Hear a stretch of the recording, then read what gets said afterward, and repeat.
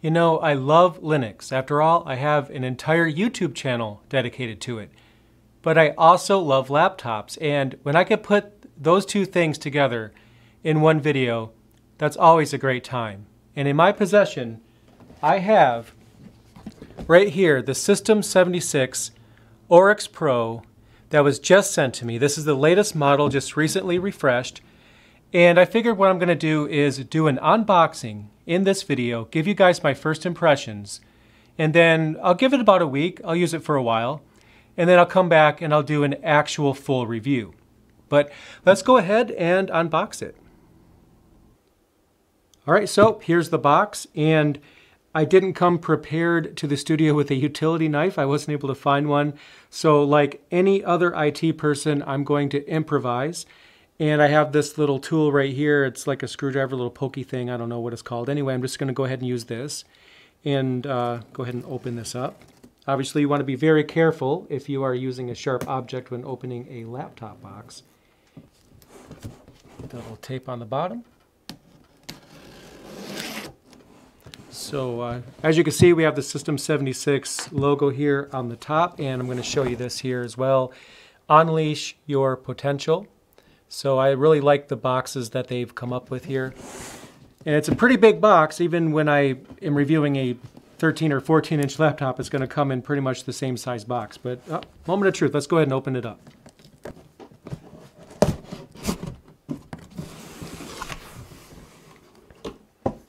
And here we are. We have the actual laptop itself. And we have the uh, little warning, don't cut it. This is actually a reusable package, which is actually pretty cool. So uh, I've had a number of these sent to my house before, so pretty much the same box. But if you flip it over, you have these little flaps right here. So you just go ahead and bend those out. Make sure I do this properly so I don't accidentally make this thing fall. But so basically bend these flaps up and that allows the plastic to separate and then you can take the laptop out. So here it is. And let's get this out of the way. They give you a little card here, so I'll show you guys that as well.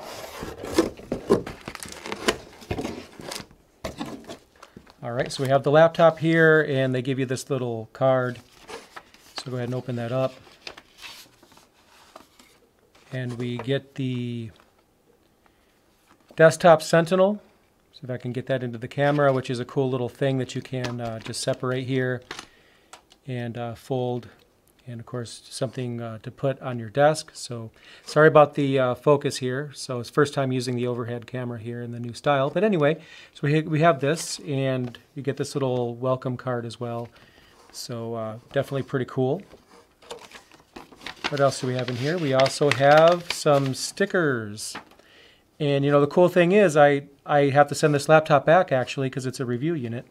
I don't have to send these stickers back though. These are mine to keep. So always appreciative of these. I have a collection of them now, but glad to have those. I have a lot of laptops. And we get in the box as well, we have this little cloth thingy and uh, some extra screws. And also looks like the cover for the SD card slot. So let's actually take a look at the laptop itself. So my first impression here is that this is, um, it's got some weight to it. It's not extremely heavy, but it does feel solid so far. It's about the same weight as my X1 Extreme, or roughly about the same.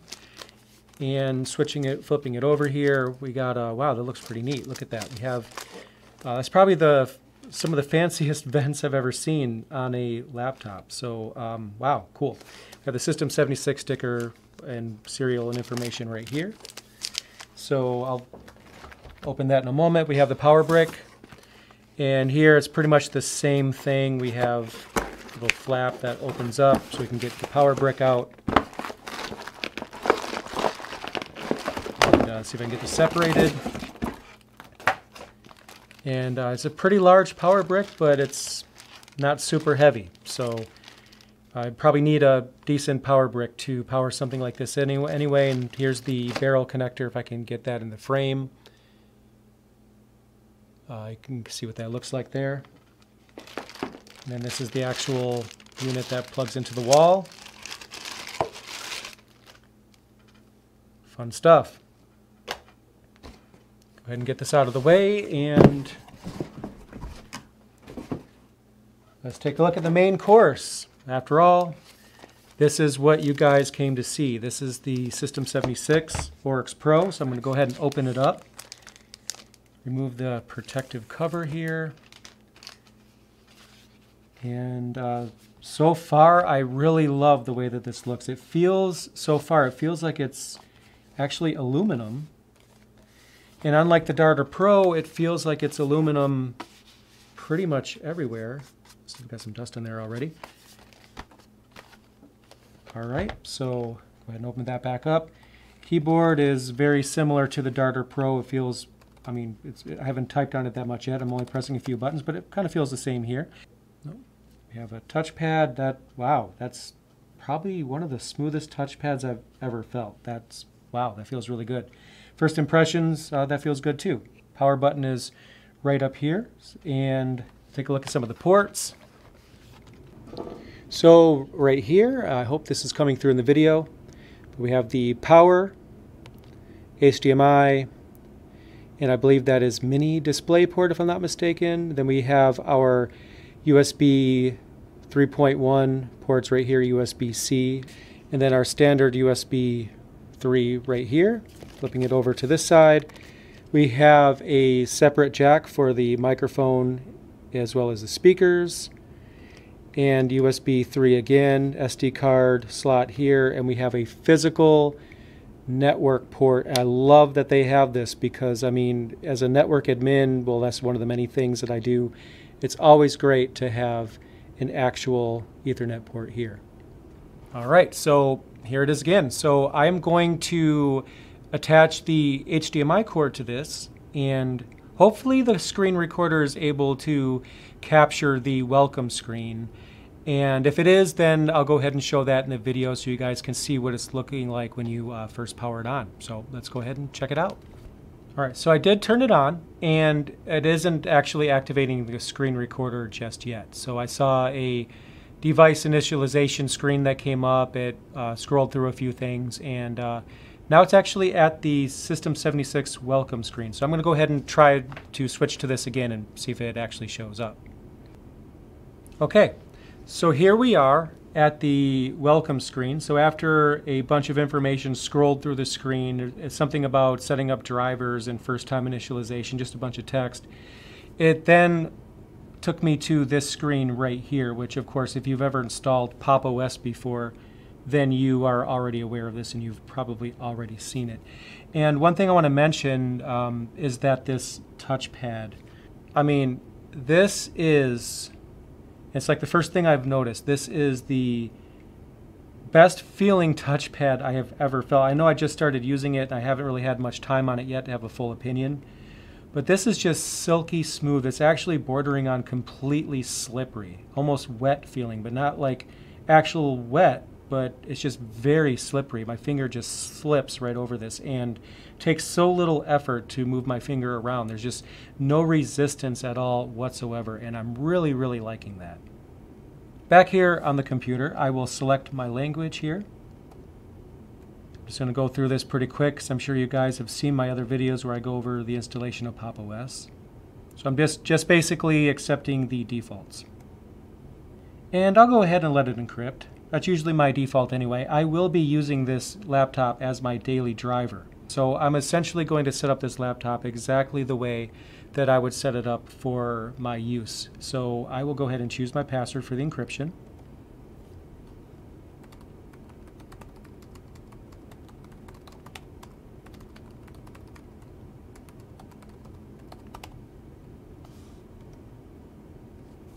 All right, so it's going through the rest of the installation.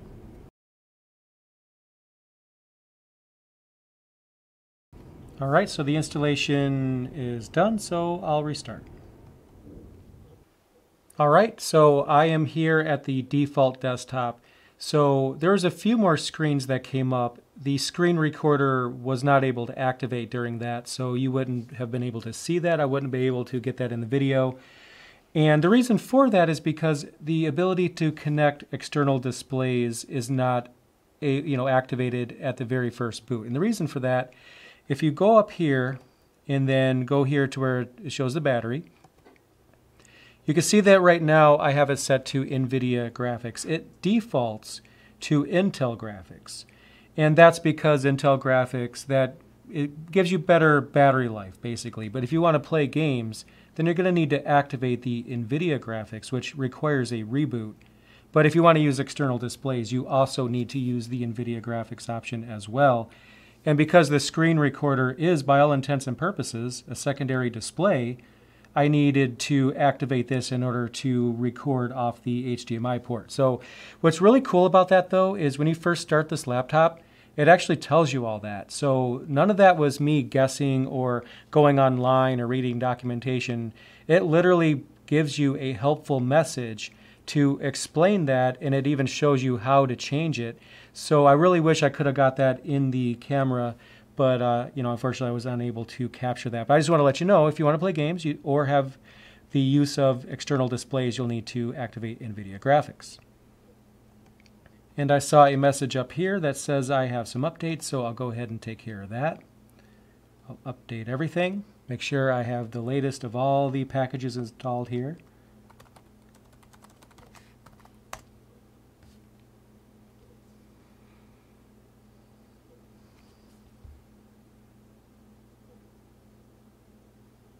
And while these are downloading, um, I'll just go over a couple of things here. So this is running Pop! OS 1904.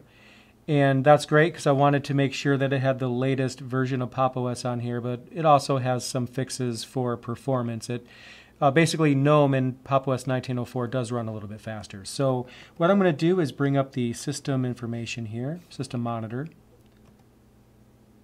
And let's go ahead and just take a look at it. So I'll go ahead and check on resources here. So it shows 12 cores. Actually, if I remember correctly, there are six cores. It has hyperthreading. This one has 16 gigabytes of RAM. I believe it can go up to 64. And then for file systems, I'll click on that. And it ha actually has a 250 gigabyte SSD when I spec'd out the review unit, I didn't feel like it would be important to have a lot of storage because yeah, I'm going to be installing a lot of games, but I'm not going to be installing my, my entire Steam library. So I think that's reasonable, 250 gig SSD. And that's what this machine has. And on this screen, I'm just on the uh, details section here in GNOME settings, but we can see a little bit more about this. It has an Intel Core i7 9750H CPU. And for graphics, it has the GeForce RTX 2060. So you can see that this is no slouch of a machine, and I can't wait to test this thing out. So I think that about does it for this particular video. Again, in about a week or so, I will have a full review on my channel. So if you haven't already subscribed, make sure you do so so you'll see it as soon as it comes out. I'm going to give this machine a major workout. I'm going to put it through every single use case. I'm going to play games on it. I'm going to edit video on it. I'm going to use this laptop as my daily driver for an entire week. And then I'm going to come back and review it and give you guys my opinions on just how this laptop stacks up. So definitely stay tuned for that. And I will see you as soon as I get that uploaded. Thank you so much for watching my video. I really appreciate it. If you want to help me out, make sure you check out the description below this video, where you'll find links to my latest book, Mastering Ubuntu Server, second edition, as well as my Patreon page. If you like this video, be sure to click that like button and share it on Twitter or any other social media network. And be sure to subscribe so you'll be the first to see my latest videos as they're uploaded. Thanks again.